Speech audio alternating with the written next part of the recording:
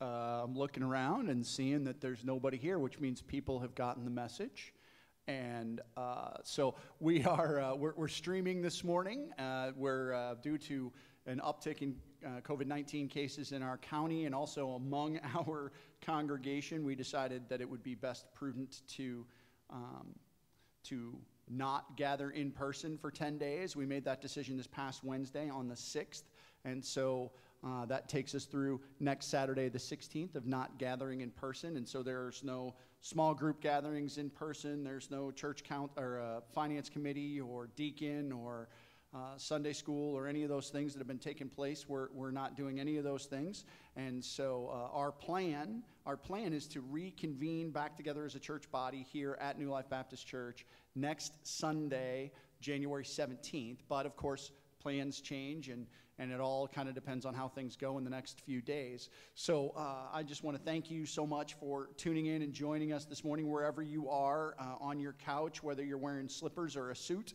Uh, or sweatpants, uh, whatever you've got on, is a great time to join and worship God. And so, uh, just there's not a whole lot of announcements because, to be quite honest, there's not a whole lot going on. So, uh, this morning, if you would just bow your heads with me as we ask God to bless our time together this morning. Uh, Father, thank you so much uh, just for the opportunity to sing. Even though we're scattered, even though we're not together as one body physically, we are together as one body spiritually. And that happened because of the death, burial, and resurrection of your son Jesus. And so, um, God, we are so thankful for that. And we pray that this morning, as we sing, as we sit under the authority of your word, as we hear, uh, hear from you through your scriptures, Lord, that you would uh, just guide our hearts and strengthen our steps in the coming days, Lord, in, in a time of such unrest and turmoil um, within our community, within our, within our nation. Father, we, we know that you are good and that you are sovereign. You can be trusted. So, Lord, we just, we commit ourselves to you. We commit our future to you. And we turn to you now, seeking your, your guidance and your wisdom and offering praise to you, which we pray and we hope um, is a pleasing aroma to your uh, to you. Father, um, be with us in this time as we as we come to you with our souls open, our hearts open, our our, our injuries, our hurts exposed, um, knowing that you are a good God who loves and shows mercy. So, Father, be with us in this time. Uh, even though we're far apart, help us to be one body in spirit. In Jesus' name, amen.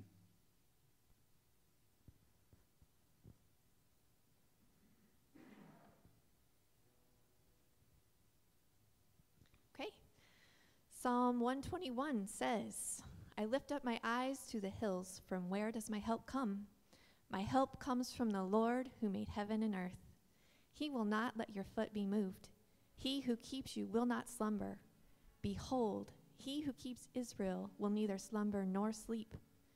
The Lord is your keeper. The Lord is your shade in your right hand.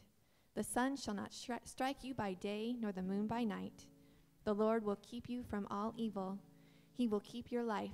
The Lord will keep your going out and your coming in from this time forth and forevermore.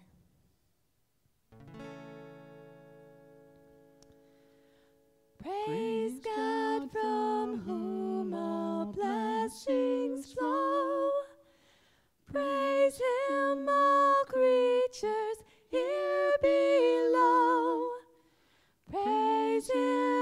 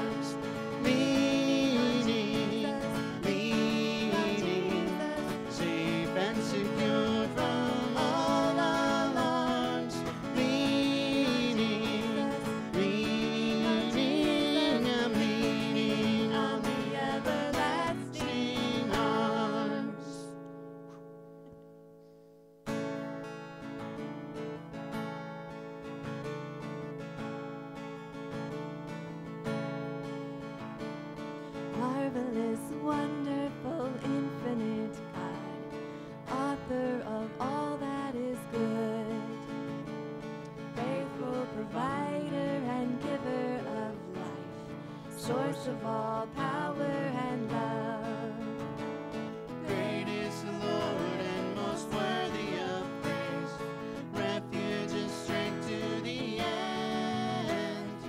Righteous Redeemer and mighty to save. He's the anchor for the souls of men.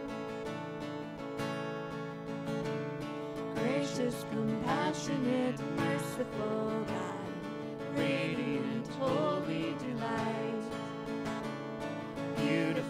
Father, victorious Son, source of unchangeable light.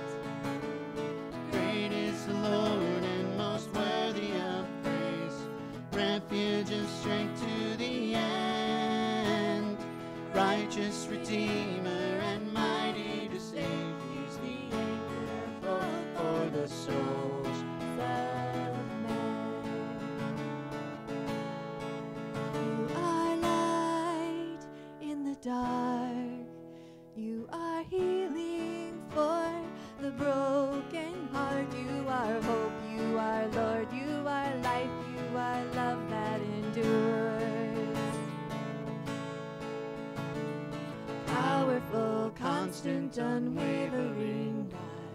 Shepherd who comes for the lost. Rock of salvation, remarkable love. Savior who died on the cross.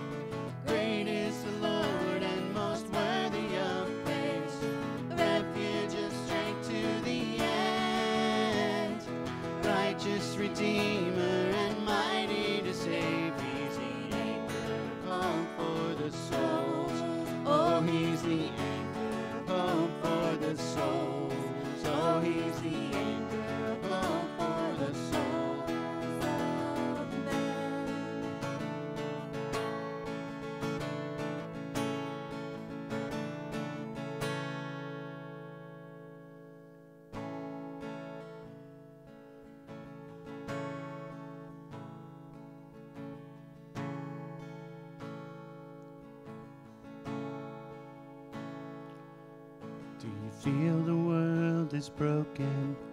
We do, Do you feel the shadows deepen? we do. Do you know that all the dark won't stop the light from getting through? We do. Do you wish that you could see it all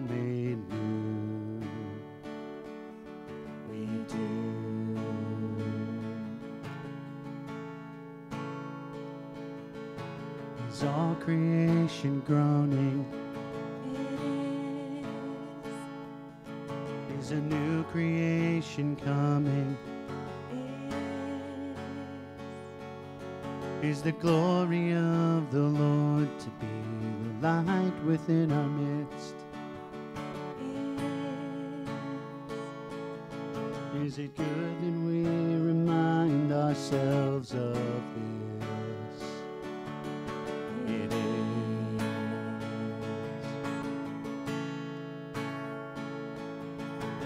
Is anyone worthy? Is anyone whole? Is anyone able to break the seal and open the scroll? The Lion of Judah, who conquered the grave. He is David's root and the Lamb who died to ransom the slave. Is he worthy? Is he worthy of our blessing and honor and glory? Is he worthy of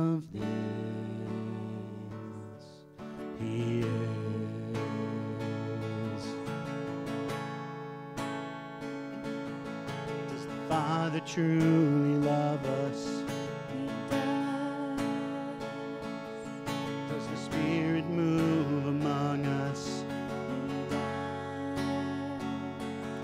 And does Jesus, our Messiah, hold forever those he loves? He does. And does God intend to dwell again He does.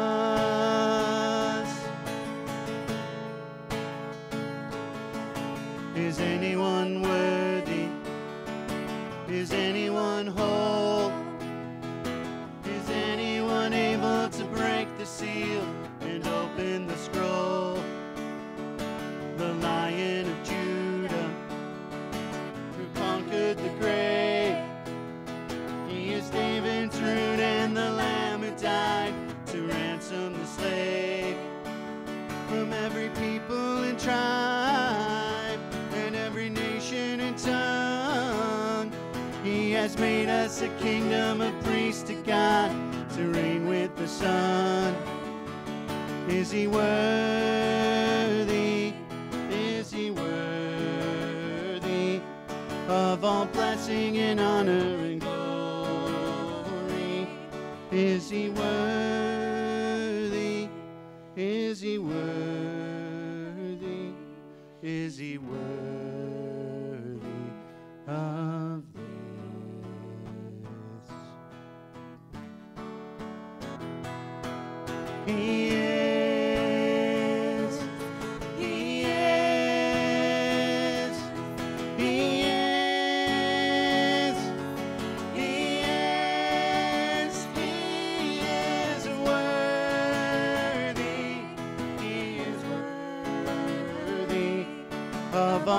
And honor and glory. He is worthy of this.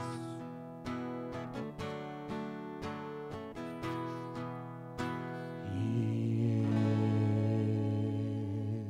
is. Heavenly Father, thank you so much for your presence. Thank you for your love and for your songs that we get to sing back to you. God, I just pray that you would just come to everybody who's watching and let them know how much you love them. And God, I pray that we would let you know how much we love you too. God, be with Bob as he preaches this morning and just shares your love with your people and also just your disciplines and your statutes and your laws and everything. Help us to listen with open hearts and minds and change our lives according to your word. We love you and we're so grateful for all you do for us. In Jesus' name, amen.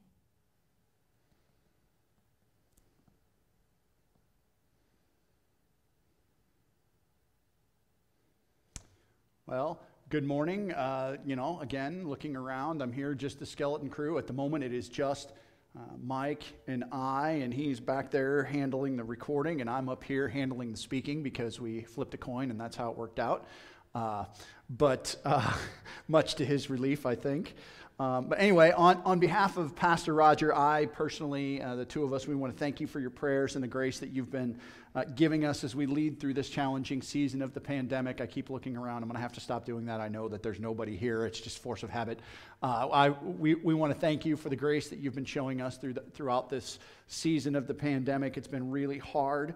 And um, we hope, like I said, like I said at the beginning, we hope to be back here in person, live here at the church next Sunday, January 17th. But uh, we'll have to see how the next few days play out. But keep an eye on our Facebook page, so facebook.com/slash New Life QC, um, and our new mobile app, uh, as those will be two easy places where we will be posting information and keeping you guys informed as to what's going on. Um, so shifting away from that, with everything that has taken place uh, in the last week, from the unrest uh, in Washington, D.C., and around the country to the uptick in positive COVID cases and everything else that's going on, um, uh, this morning I want to offer you some encouragement. Uh, see, the world, the world around us is unsteady and, unsha- and, and uh, very shaken. And, and right now, the aftershocks of everything that's been going on are starting to be felt. The ripples are going out. And um, it's very unsettling. And in the midst of all of this shifting sand of the moment, my hope and my aim this morning, uh, today, is to offer you something solid, something upon which you can firmly plant your feet and trust that you will not fall. So, if you would, if you have your Bibles handy, turn to Psalm 16. Uh, and if you don't have your Bible handy, pause the video and go get it. Right? I mean, it's one of the beauties of doing this not in real time is that if you forgot, oh, I forgot my Bible, I can, you know, you can press pause and you're not going to miss anything, which would be great. So uh, once you have your Bible, if you open it up to Psalm 16, please stand with me as I read from God's holy and inspired word. Psalm 16, a miktam of David. Preserve me, O God, for in you I take refuge. I say to the Lord, You are my Lord. I have no good apart from you. As for the saints in the land, they are the excellent ones, in whom is all my delight. The sorrows of those who run after another God shall multiply. Their drink offerings of blood I will not pour out or take their names on my lips. The Lord is my chosen portion and my cup. You hold my lot. The lines have fallen for me in pleasant places. Indeed, I have a beautiful inheritance. I bless the Lord who gives me counsel. In the night also my heart instructs me. I have set the Lord always before me because he is at my right hand. I shall not be shaken. Therefore, my heart is glad and my whole being rejoices. My flesh also dwells secure. For you will not abandon my soul to Sheol or let your Holy One see corruption. You make known to me the path of life. In your presence there is fullness of joy. At your right hand are pleasures forevermore. This is the word of the Lord. Let's agree in prayer.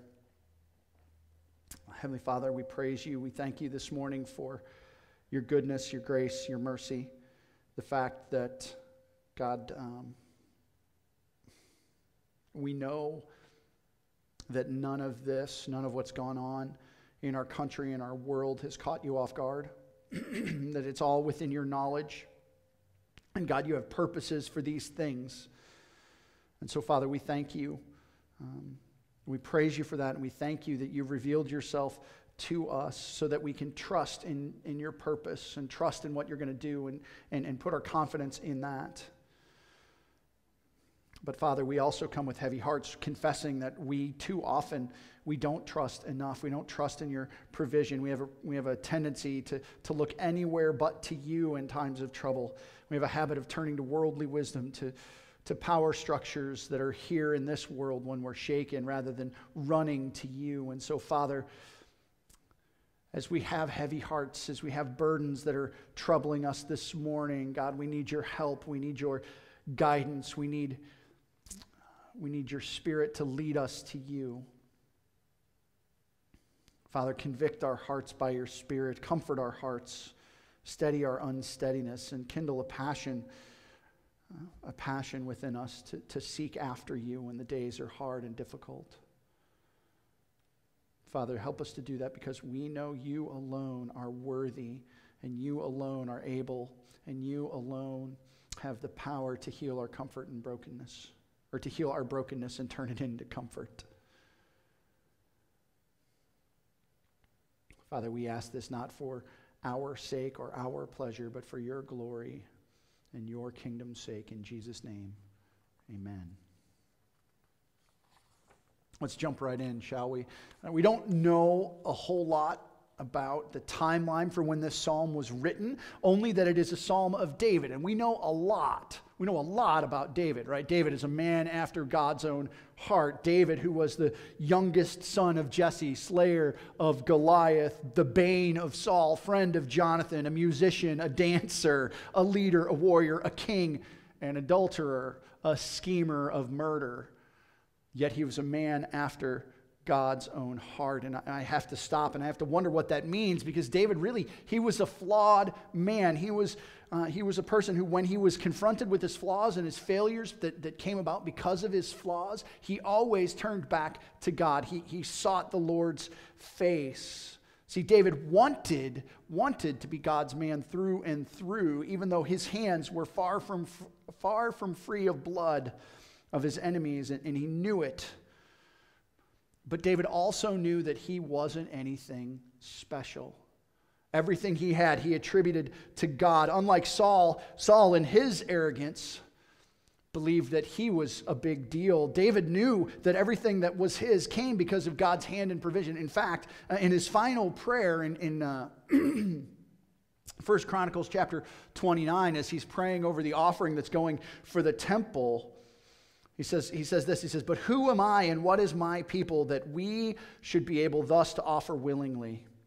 For all things come from you, and of your own we have given you. We are strangers before you and sojourners, as all our fathers were. Our days on the earth are like a shadow, and there is no abiding.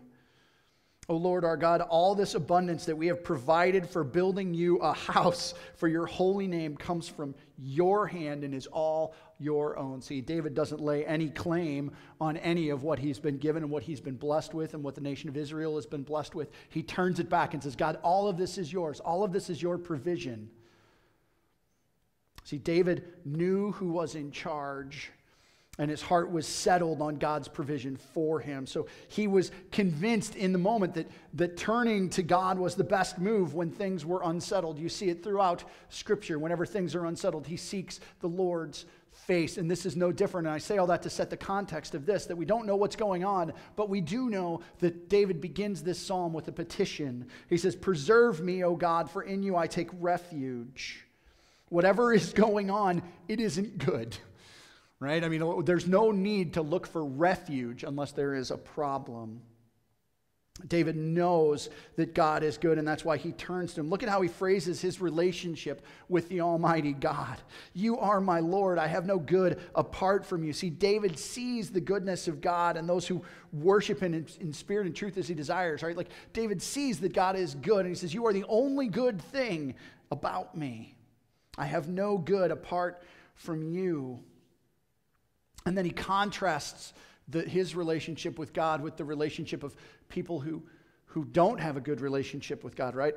He, he says, As for the saints in the land, they are excellent ones, in whom is my delight. The saints in the land, the, the, those who are believers, those who, are, uh, who have put their faith in, in Jesus. Now, the word saint, uh, in many ways, in the Old Testament, that we refer to them as saints, and that would be considered possibly Christians. They are lo- the, God's set aside, sanctified people in the Old Testament versus Christian, which is the, the term we use for it in the New Testament. It's a whole other discussion for another time, and it's not perfect, but it's an example, right? So when he says, As for the saints in the land, these are the people who are following after God, these are the people who are doing it right. They are the excellent ones in whom is all my delight. And then he contrasts that with the ones who aren't, right? The sorrows of those who run after another God shall multiply. Shall multiply. Their, their drink offerings of blood I will not pour out or take their names on my lips. David wants nothing to do with them. He recognizes that those who are following after another God have no blessing have no help, have no refuge from Almighty God. See, David keenly understands that there is a right way and a wrong way to follow God. And throughout his days, he has proven himself humble before God. When he stumbled, when he has made missteps, when he has sinned, when he has done things that are not appropriate in, in following after God, he turns, when confronted with them, he, he confesses them and turns himself over to God's judgment. He doesn't flaunt his kingship, even though he makes some big time errors. David recognizes that God is in control, and going against that has dire consequences. And with the balance of our time together as we work through the rest of these 11 verses, I want to focus on some of the provision that God makes for his people that are, that's revealed by David's words in this psalm. And I hope to paint for you a picture of the breadth of God's love by looking at four provisions he makes for his people that God makes for his people. One, God provides a future. Two, God provides counsel. Three, God provides stability. And four, God provides joy. Let's work through these together. Firstly, God provides a future. Look at verses 5 and 6. The Lord is my chosen portion and my cup. You hold my lot. The lines have fallen for me in pleasant places. Indeed, I have a beautiful inheritance. How great is that, right? Like, I mean, just think for a minute, right? To quote one commentator, David is essentially saying that nothing earthly, visible, or material is what satisfies me, but only Jehovah Himself. It is the giver, not His gifts, that meets my wants. See, David looks at all that he has. He looks at all that he's received from the Lord's hand. And the best thing isn't the kingdom or the throne or the riches or the fame or the wealth or the honor or any of those things, but God Himself. That's the greatest thing that he has received. And I love that for so many reasons, but it's something I think that we often here on this side of history, this side of Christ, take for granted. See, God offers himself to us. Jesus, who according to the author of Hebrews is the radiance of this of his glory and the exact imprint of his nature, speaking of God, Jesus came to offer himself on our behalf to restore our relationship with the Father. He came to trade his righteousness for our sinfulness. And those who accept this gift receive what? Receive heaven? I mean, yes, that's a part of it, but more importantly, we receive the Holy Spirit who indwells us and seals us for the day when we take part in the marriage ceremony of the Lamb. Think that through for a minute. God, the Son, gives Himself for us, for us, so that He can give Himself to us at the end of all things, so that we can be His people and He can be our king. See, we get so caught up in talking about the guarantee of an eternity spent with God, right? We can we, we consider heaven, the things above, how amazing it will be. And, and that's true. It will be so much more unimaginably better than anything we can think of in the here and now. It's a beautiful place with no tears or pain or death but the best part of it is not the fact that there's no tears or pain or death or its beauty, but that we get to spend it an eternity with God Himself. Understand that there are earthly blessings for trusting God, for following Jesus in the here and now, but what God promise us, promises us has little to do with earthly things, right? We know. Jesus says in John chapter 16, 17, he says, in this, or in uh, chapter 16, he says, uh, in this world you will have tribulation you will have struggle that's a promise it's not the earthly promise is not for good things to happen to you here the future that's promised for you when you give yourself to God fully and totally and completely and submit yourself to His will for you is that you get Him. You get to spend eternity with God. So, as we muddle through our lives here enduring this fallen and brokenness that we deal with day in and day out and struggle against, we look to God with hopeful eyes for the future that He provides. And that future is God Himself. Secondly, God provides counsel. See, David recognizes his need for counsel. Verse 7 I bless the Lord who gives me counsel. In the night, he in the night also my heart instructs me. And again in verse 11, he says, You make known to me the path of life. See, the king, the king knows his own inadequacies, his own shortcomings, his own need for help and guidance. David knows that he needs instruction and he knows where to find it. He goes to God. Throughout the Psalms, it's a, it's a common theme. David writes about the Lord's instruction over and over and over again, beginning with the very first two verses of the very first psalm. Blessed are those who walk not in the counsel of the wicked, nor stand in the way of sinners, nor sit in the seat of scoffers, but his delight is in the law of the Lord. And on his law he meditates day and night.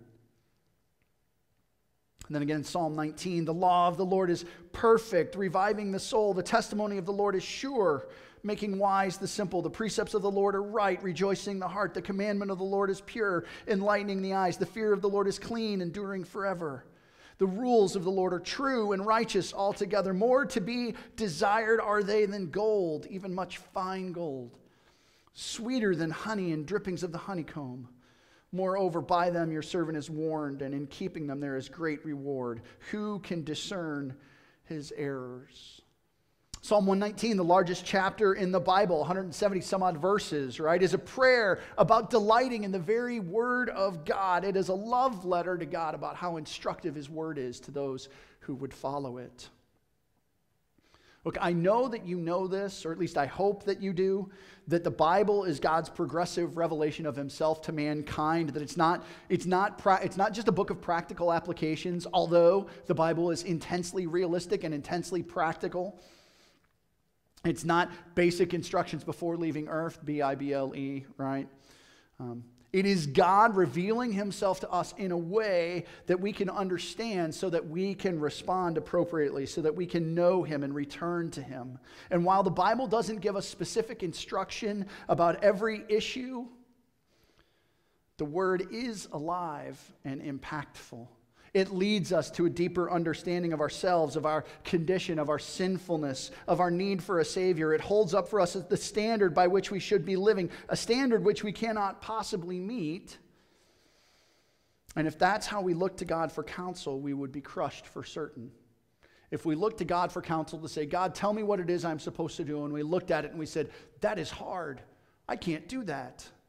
We would be like the rich young ruler when when he approaches Jesus and Jesus says, you know, here's what you must do. You must sell all of your all of your possessions and give to the poor. And the young, rich young ruler walks away discouraged and disheartened because it's way more than we can possibly imagine. But God's counsel isn't for us to be crushed. God's counsel isn't for us to be crushed, it's to be redeemed.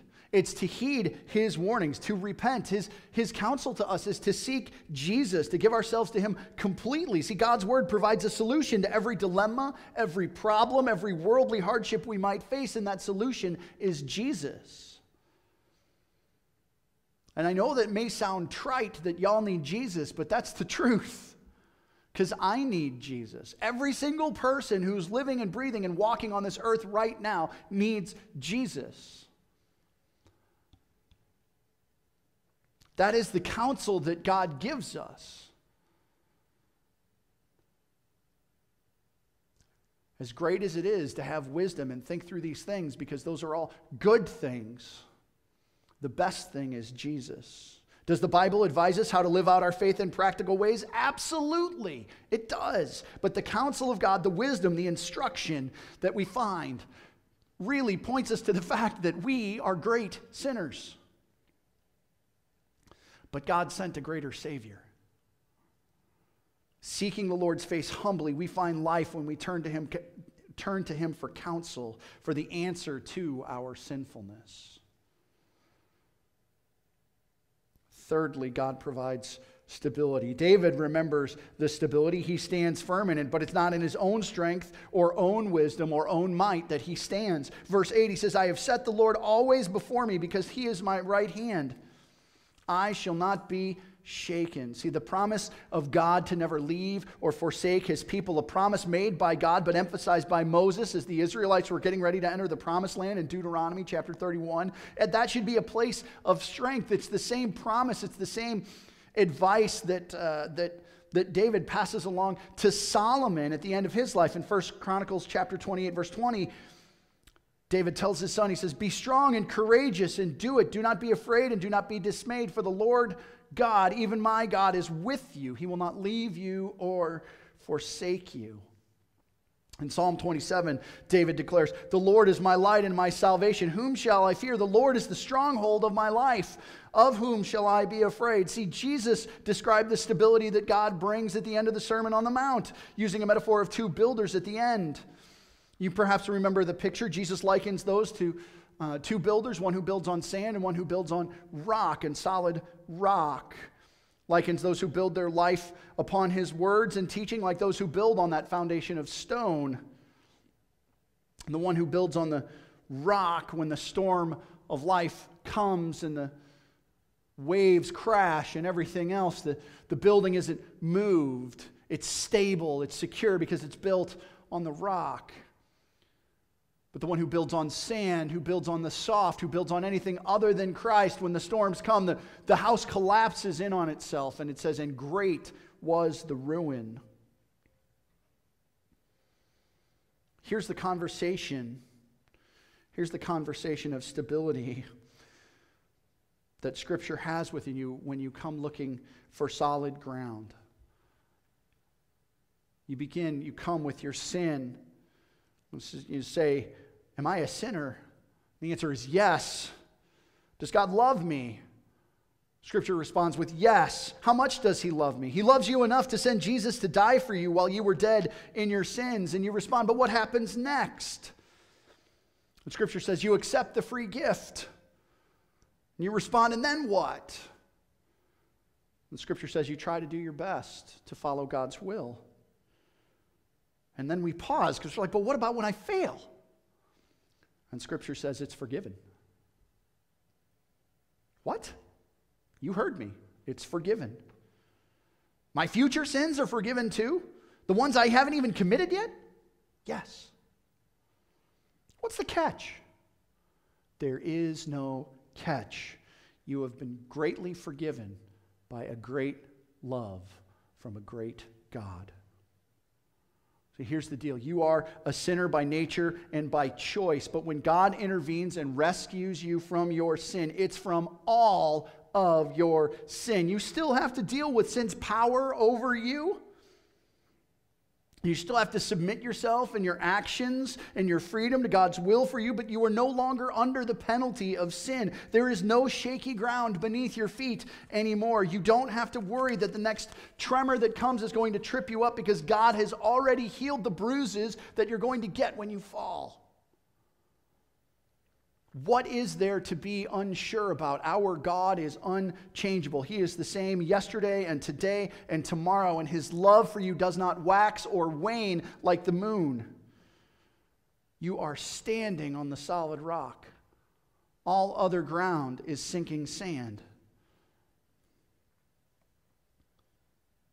The stability that God provides is is there when we begin to put him before us and he is, for, he is foremost in our mind because we can trust that even when we stumble that we are forgiven.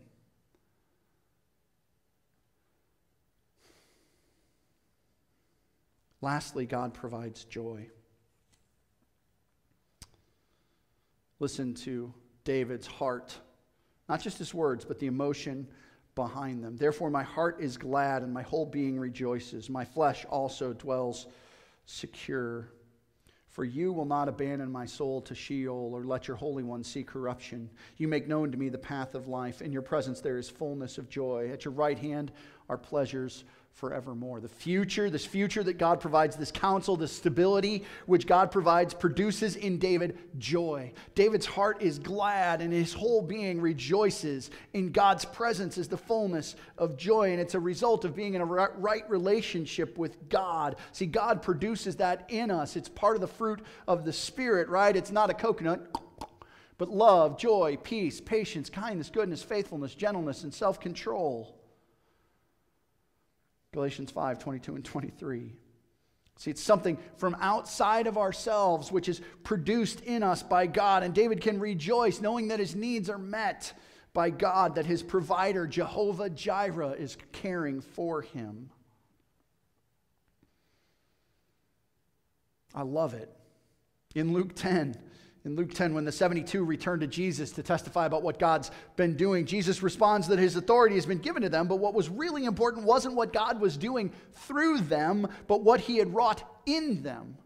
Nevertheless, do not rejoice in this, that the spirits are subject to you, but rejoice that your names are written in heaven which I'm sure would have been a little bit of a strange thing to hear if you're the disciples, right? I mean, they're all hyped up on these miracles. They're like, whoa, this is awesome. Listen, listen to all this great stuff that God's been doing. Listen to this, it's been fantastic. But it goes back to understanding the inheritance that David talked about earlier. It's not about the earthly thing, but the heavenly thing. As much as David's needs were met here on earth, David was rejoicing in, rejoicing in knowing that his spiritual need would be met too. For you will not abandon my soul to Sheol. You know the path of, or you make known the path of life. In your presence there is fullness of your uh, fullness of joy. At your right hand are pleasures forevermore. See, David's not in that moment, in that moment, that difficult, that hardship. Remember, he's seeking refuge. Whatever is going on around him is not good. It's not positive. It's challenging. It's hard. David's not experiencing that joy in the moment, but he does look forward to experiencing it later. He's singing the unending song of unending joy, of an unending eternity spent with a marvelous and glorious Savior.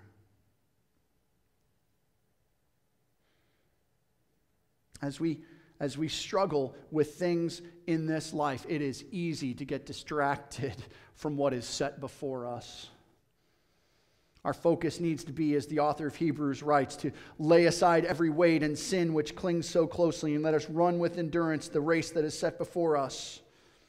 looking to Jesus, the founder and perfecter of our faith, who for the joy that was set before him endured the cross, despising the shame, and is seated at the right hand of the throne of God. See, Jesus' joy is that sinners are going to repent, that sinners are going to return to God, right? There will be more joy in heaven over one sinner who repents than over 99 righteous persons who need no repentance. God's joy over our salvation is our joy of an eternity spent with Him. So, as we consider the hard, difficult, challenging days that lay ahead, as we continue to work through the pandemic, as our country continues to heal and, and, and mourn and grieve the things that have gone on from, from senseless murders to racial injustice to social injustice to all of the things that are happening around our country and around our world, which grieve us, God says, Let me be your refuge. Let me be your provision. Let me provide for your future. Let me provide counsel. Let me provide stability. Let me provide joy. As we close, I just want to encourage you encourage you to seek the Lord wherever you are, whatever it is you're going through, whatever Situations are weighing you down because everybody's got situations that are weighing them down, whether it be from a family member who's sick, a family member who doesn't know God, a, a struggle at work, a struggle at home, a struggle with children, physical maladies and illness, depression, economic hardship, whatever it is, know that God is there for you. He wants to be your refuge. He wants you to seek comfort in Him. Let this psalm be a prayer that you recite to yourself, that you read to yourself, that, that let David's words be yours. Preserve me, O God, for in you I take refuge. I say to the Lord, You are my Lord. I have no good apart from you. As for the saints in the land, they are the excellent ones, in whom is all my delight. The sorrow of those who run after another God shall multiply. Their drink offerings of blood I will not pour out or take their names on my lips. The Lord is my chosen portion and my cup. You hold my lot. The lines have fallen for me in pleasant places. Indeed, I have a beautiful inheritance. I bless the Lord who gives me counsel. In the night also, my heart instructs me.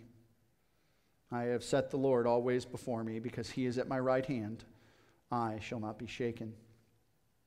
Therefore, my heart is glad, and my whole being rejoices. My flesh also dwells secure, for you will not abandon my soul to Sheol, or let your Holy One see corruption. You make known to me the path of life. In your presence there is fullness of joy. At your right hand are pleasures forevermore. Let's pray. Father, thank you for this day, this time, and your word, and the truth that we find in it, the challenging um, counsel that tells us that we are in need of repentance, the future that is promised, the future of you, uh, an inheritance that is you. Lord, the stability that we find in trusting that God, that one that you have provided and that you're going to provide, uh, but Lord, also that we know that our sins are forgiven when we confess them to you, when we turn to you, when we accept the grace that you've poured out upon us. Lord, what joy is to be found when we give ourselves fully and totally to you. So, Lord, would you help us? Would you help us to cut through all of the nonsense that we see? Would you help us to remain focused?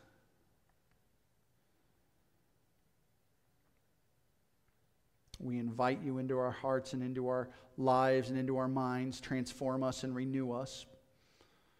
by the power of your Spirit so that we may prove what the will of God is, that which is good, acceptable, and perfect. Lord, we need your help. And we lay our lives at your feet and we just ask that you would guide us to truth and help us to remember that you are a great refuge. I ask this in Jesus' name. Amen.